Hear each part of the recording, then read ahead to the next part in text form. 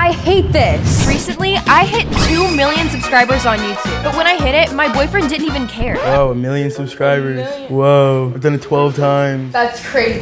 A few weeks ago, he got his 10 million subscriber plaque. So I'm gonna secretly steal it without him knowing because I'm jealous. First, I waited until he went into the bathroom so I could steal it. Once I got the plaque, I hid it in the cleaning supply cabinet because I know he'll never clean. Time to see if he notices. Where's my plaque? Oh, I took it. What do you mean you took it? Well, I don't have a 10 mil plaque and I want one. It's cool. Just because you make all your money on OnlyFans doesn't mean you have to take my plaque. I mean, it's cool. I wanted Bro, I'm, one. really, I'm gonna go to my ex-girlfriend's house. Subscribe to prove him wrong.